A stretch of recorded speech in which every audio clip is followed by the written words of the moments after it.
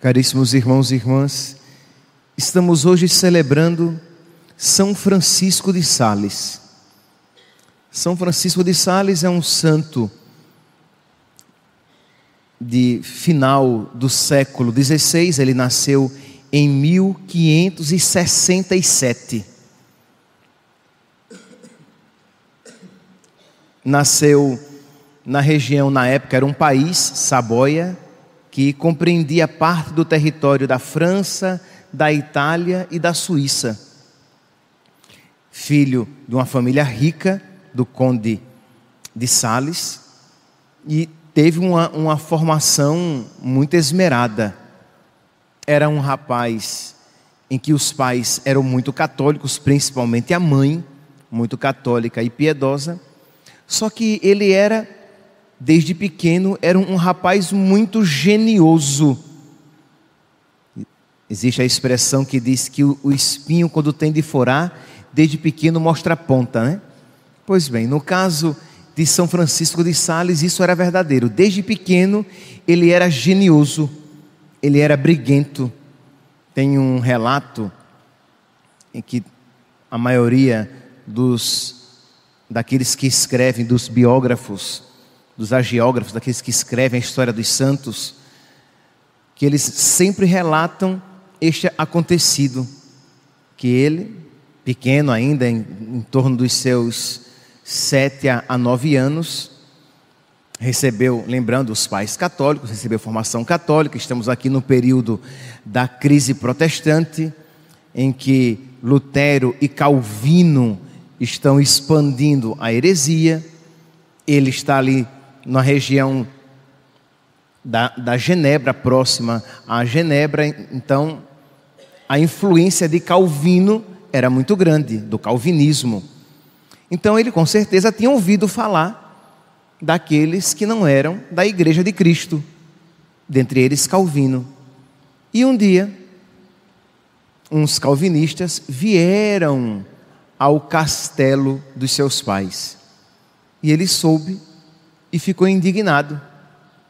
Aquele menino ficou indignado que na, casa, que na sua casa os hereges pudessem entrar. E como ele não podia fazer nada, que imagino que uma criança iria lá e distratar aqueles convidados, ele pegou um pedaço de pau e entrou no, no galinheiro e espancou as galinhas, gritando: Fora os hereges, hereges saiam daqui os empregados tiveram que vir ajudar, porque senão ele iria matar as galinhas de pauladas que ele estava dando nelas, gritando fora os hereges, hereges fora daqui. Então, para que vocês compreendam o que o gênio desse menino. Era um menino genioso, era um menino que era combativo, mas também irascível. E a graça de Deus foi trabalhando toda essa realidade para fazer com que toda aquela força interior que nele existia fosse usada para o bem e não para o mal. Meus irmãos, isso é tão importante porque São, São Francisco de Sales, ele é conhecido, dentre tantas virtudes, o amor, a misericórdia, a bondade, mas ele é conhecido como o santo da paciência. Nós vivemos em, em um mundo em que tudo é culpa do estresse, né? A gente perde a caridade com, com as pessoas, a gente diz uns desaforos, mas é o estresse. É o estresse do trabalho, é o estresse dos problemas familiares, é o estresse por causa da falta de dinheiro para pagar as dívidas, é o estresse. E por causa do estresse, a gente justifica toda debilidade do, do nosso temperamento, toda, toda a nossa falta de virtude, toda a nossa falta de luta para dominar os impulsos desregrados e maus, errados que existem dentro de nós. Então, São Francisco de Sales, ele é um exemplo para nós, para que nós recorramos a Deus e comecemos a trabalhar aquilo que nós vemos que não se adequa com o nosso Senhor. É interessante aqui deixar claro que não é que São Francisco de Sales se tornou um homem mole, frouxo. Não, quando precisava ser firme, ele era. Mas nós sabemos muito bem que existe uma diferença entre a firmeza necessária e a falta de, de, de equilíbrio emocional. Nós sabemos que existe diferença entre você ser firme numa repreensão e você ser desequilibrado. Em você ser firme e claro nos seus pontos de vista, de quando você é desrespeitoso e destemperado. Então são realidades bem diferentes. Nosso Senhor, que nós sabemos muito bem, ele era muito firme quando era necessário sê-lo. Afastai-vos de mim, mal, é, sepulcros caiados, dizia aos fariseus, mas ele era aquele que dizia: Imitai-me, porque sou manso e humilde de coração. Então, essas duas realidades, que é verdade, não é fácil conciliar, mas com a graça de Deus, isso pode ser trabalhado dentro de nós e nós podemos ter a firmeza necessária para lutar contra o mal e as coisas erradas e ao mesmo tempo a doçura necessária para não afastar ninguém por causa dos nossos pecados e não magoar ninguém por falta de equilíbrio do, do nosso temperamento, do nosso lado emocional. Pois bem, então São Francisco de Sales, desde novo, então trabalhando esta realidade, quis entrar para a vida religiosa com 20 anos, mas os pais, o pai principalmente, não permitiu. Mandou estudar em Paris. Foi para Paris, depois foi completar os estudos em Pádua, foi fazer direito, direito civil. Ele queria então fazer direito canônico, para de alguma maneira já ir se aproximando da vida religiosa a que ele pretendia.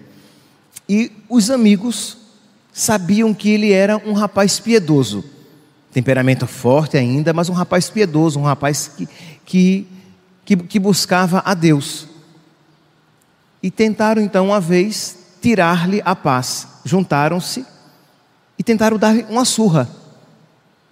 Eram quatro. E São Francisco de Sales não pensou duas vezes. Ele, que era muito bom em esgrima, em, espada, puxou a sua espada, era a arma da época, lutou com os quatro, venceu os quatro, derrubou os quatro e disse: Louvem a Deus pelo Deus em que eu creio, porque senão eu faria mal a vocês. Isto é, agradeçam a Deus, porque eu creio em Deus, porque senão eu faria mal a vocês. Então era um rapaz muito genioso.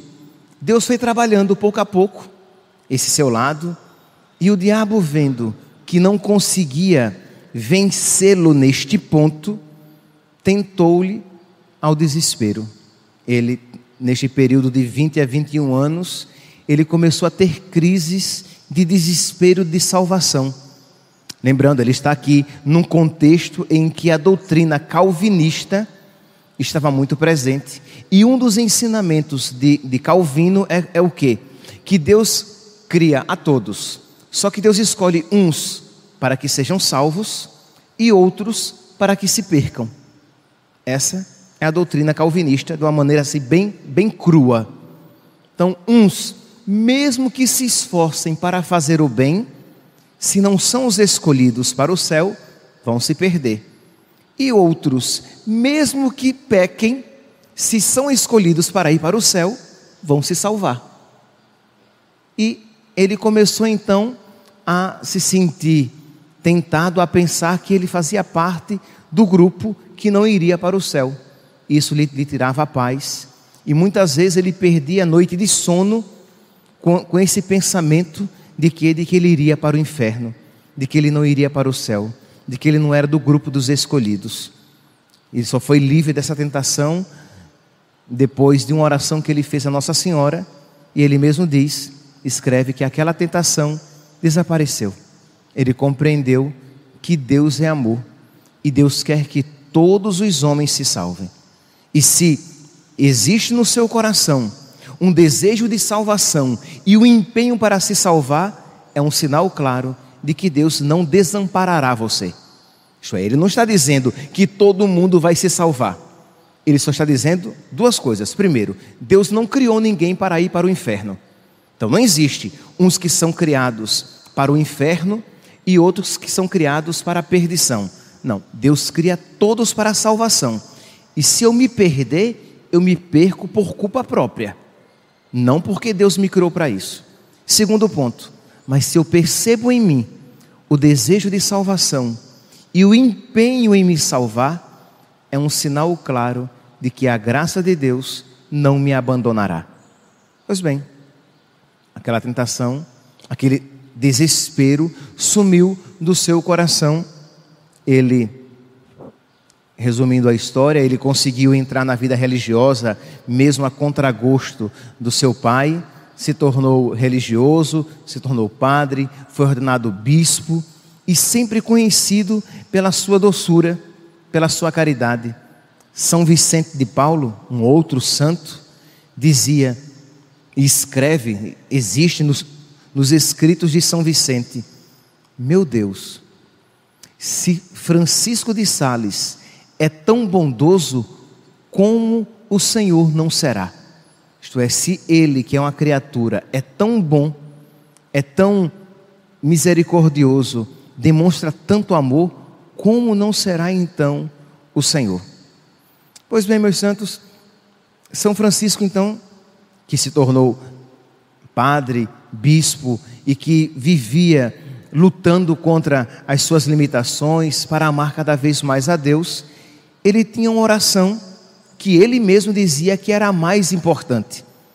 Isto é, ele fazia um pedido a Deus que ele dizia que era o mais importante. Ele diz que não existe nada mais importante para se pedir a Deus que a união da própria vontade à vontade de, de Deus. Ele queria agradar a Deus em tudo. Ele queria querer o que Deus queria, para que ele pudesse fazer a vontade de Deus, para que ele pudesse amar a Deus de todo o seu coração. Então ele, ele diz que noite e dia ele pedia a Nosso Senhor a graça de que a vontade dele nunca se rebelasse contra a vontade de Deus. Ora, para alguém conhecendo o, temperamento de São Francisco de Sales, alguém raivoso, briguento, voluntarioso, nós percebemos que não era uma prece fácil. Que se a pessoa é como nós às vezes usamos a expressão, é uma mosca morta, ela não tem muita força de vontade. Mas se ele era alguém com sangue nos olhos, ele era muito tentado também a querer que as coisas fossem segundo a sua maneira, que as coisas fossem segundo o seu jeito. E ele percebe que não existe santificação sem que o homem velho seja pisado, quebrado e enterrado. O homem velho que existe em nós, a mulher velha que existe em nós, precisa morrer. Então ele percebia que a vontade dele precisava ser aniquilada. E ele tem uma oração, uma oração muito conhecida, que eu gostaria de, com ela, concluir essa homilia. Ele diz: Meu Deus, que eu faça a tua amorosa vontade, Senhor Jesus. Em oração, uma vez vos pedi, e pedirei sempre, que, que faça eu a vossa amorosa vontade todos os dias da minha vida. Então, a primeira parte da oração é essa: Senhor, que eu faça a tua vontade sempre, que eu faça a tua vontade todos os dias, que eu faça a tua vontade em todos os momentos da minha vida. Repito, é sempre bom frisar que a gente ouve uma oração assim, acha bonita, e verdade, é muito bonita, mas tente aplicá-la o tempo todo na sua vida, e você verá que, embora ela seja muito bonita, ela não é fácil. Fazer a vontade de Deus sempre.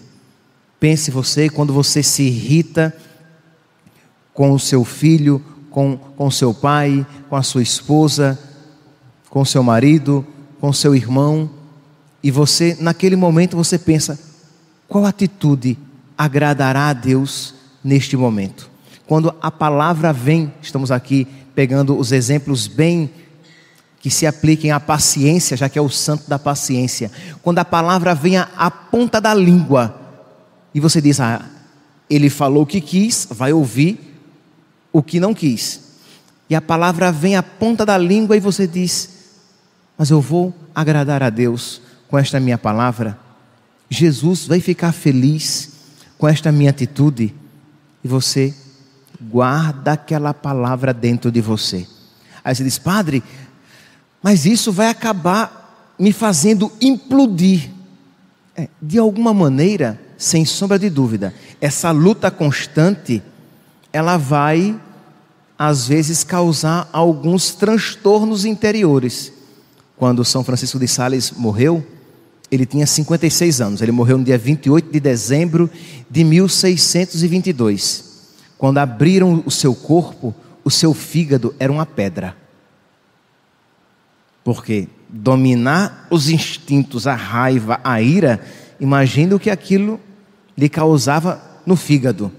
Seu fígado era uma pedra. Para mostrar o quê? Que dominar-se a si mesmo para São Francisco de Sales não era bolinho, não era pouca coisa. Esforçai-vos por entrar pela porta estreita, diz a palavra de Deus. Quer dizer, o caminho da santificação, meus santos, é um caminho do esforço. Ninguém se tornará santo tomando água de coco debaixo de sombra, né? Como se diz, sombra e água fresca.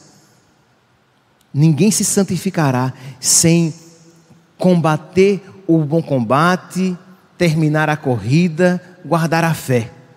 Ninguém se santificará sem de alguma maneira experimentar a morte nas suas vontades,